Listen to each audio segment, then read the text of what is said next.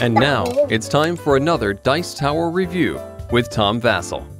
Hey folks, today we're taking a look at a game called Expedition Northwest Passage, where you are following in the expedition, the Franklin expedition, trying to figure out what happened to them, going into uncharted territory and finding, well, the Northwest Passage.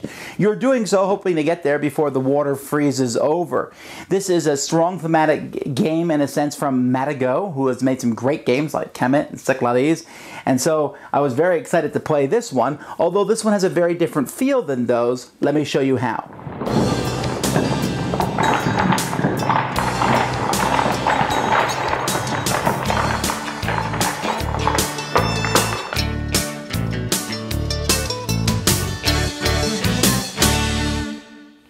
Okay, here's the board of the game, and you'll notice this board is kind of an undiscovered map section, and your ships will start up here in the top where you see some tiles are on the board. And as the game progresses, more tiles are going to be added to the board as long as they match the different types of terrain that are out there. So perhaps this tile would be placed like this. As the different types of terrain are put on the board, the map is going to be growing. Now you'll notice this disc here. This disc is really critical for the game because this disc is going to move around showing the seasons. Everything underneath this disc is water, everything above it is frozen. So as the game progresses, when the, this goes here, the entire board is going to be water and lakes. And as this moves around, you can see that when it's down here, half the board is frozen and the other half isn't. In fact, at, during two turns of the game, here and here, only the very bottom line is going to be unfrozen. Everything above that is going to be frozen. Each player has a ship which is going to be able to move around on the unfrozen tiles, and then if the tiles freeze up, each ship is able to launch a sled which can move around on land or even frozen tiles players are going to be using this board. Now, this board has a lot of scoring information on it, but it also has a bunch of crewmen. You'll have seven crewmen on your ship. And each round of the game progresses like this. Uh, players are going to take their turns in turn order. Turn order is going to be over here. And on a player's turn, they can move down a certain number of crew and take the action that corresponds to whatever number of crew they move down. And you can see the actions down here and the number of crew. You're actually able to take extra action. Let's say, for example, I take an action which is draw a tile, and I want to draw another tile. I can do that before anyone else goes, but I have to pay an extra crewman to do the extra tile. You won't do this very often because it's a terrible waste of crewmen, but occasionally you'll want to do that.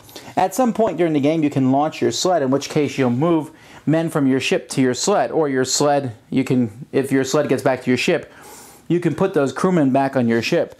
So you can then take actions with your ship and or your sled. So what are these actions? One of the actions you can do in your turn is you can take a tile.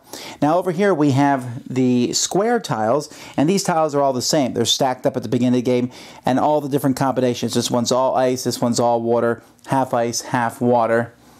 And um, then over here, though, these rectangle shapes are always going to be different. They're randomly pulled from a bag.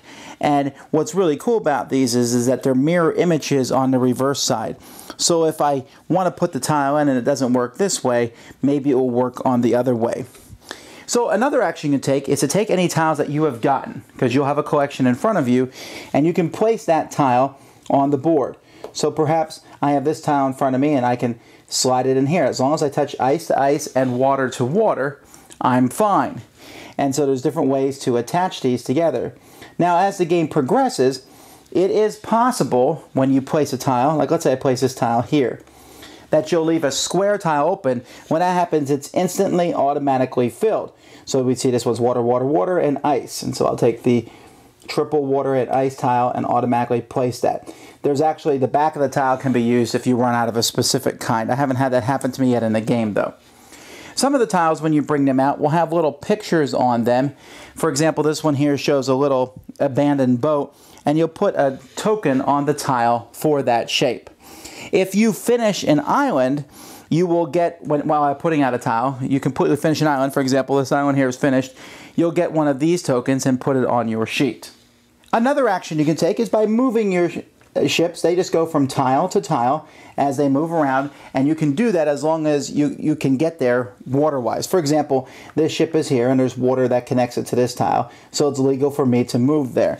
And so you'll be moving your ship around. Sleds can move from tile to tile if it's iced up. If it's not iced up, they have to have land from one tile to the next. Another action can transfer crew, I've already mentioned that. And then another action can be to explore these sites. Now there's different sites, they're called different things. There's Franklin sites, there's Straits, there's uh, in, Intuits, and by the way, I showed you the wrong one. This is a uh, a token that's that's put on the board. This gray token is the one that players get when they discover a new island.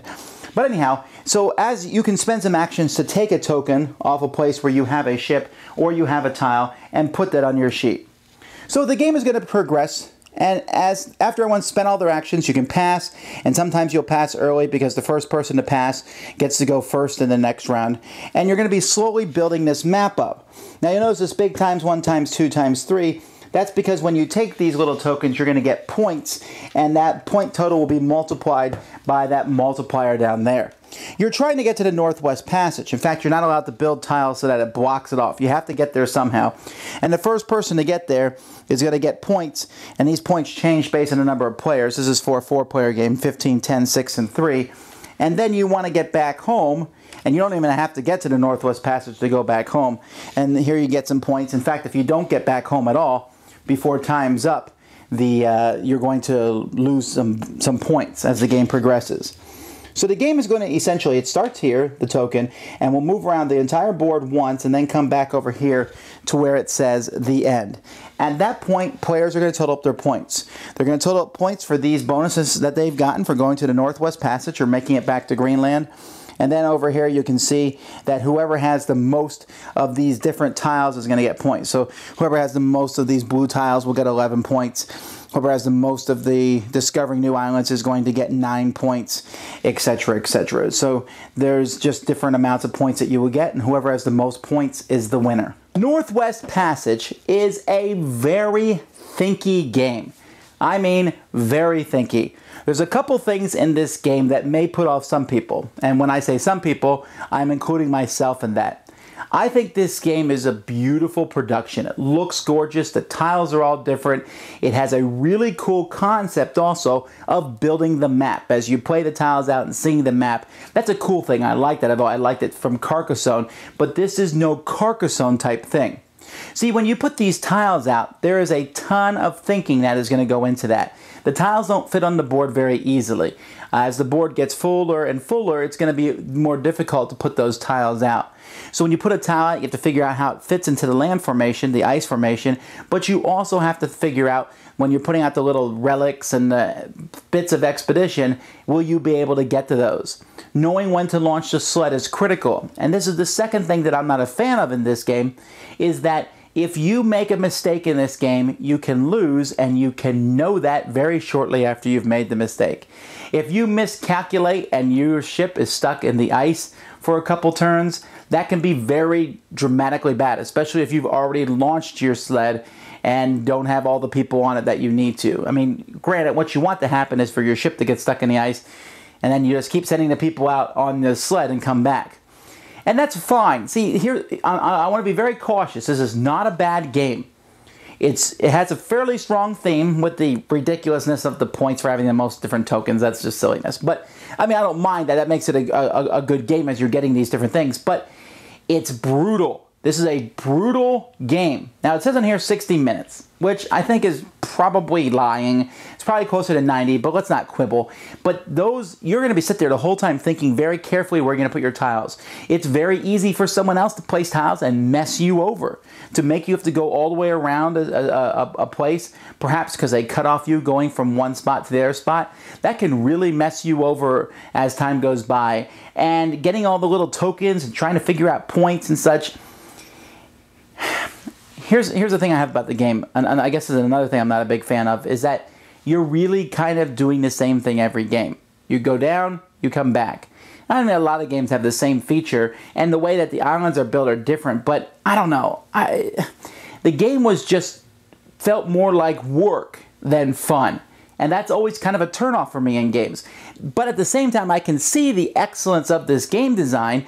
I, I, I think that it's a it looks good. I think it's going to appeal to some people. And the idea of the ice freezing, that's a completely innovative mechanic. I think it's a great idea. And I, and I think it's neat, you know, to, when are you going to launch that sled? Everything else, though, is really very Euro-y, these, these same mechanisms that are there just to make the game work. I don't know.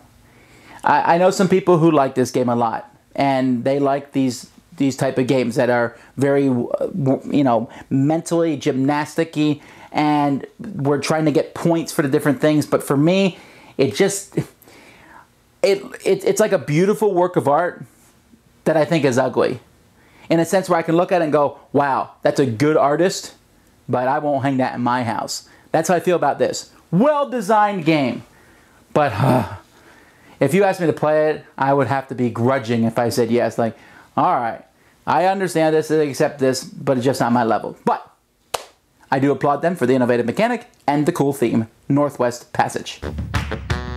Thanks so much for watching the Dice Tower videos. Find more great videos and reviews, as well as our top rated audio podcast at Dicetower.com. You can also find other great shows at Dicetowernetwork.com. I'm Eric Summerer, and you've been watching The Dice Tower. The Dice Tower is sponsored by Cool Stuff Inc., where you can find great games for great prices. Cool stuff in stock.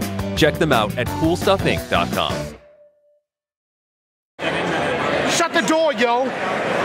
There, there.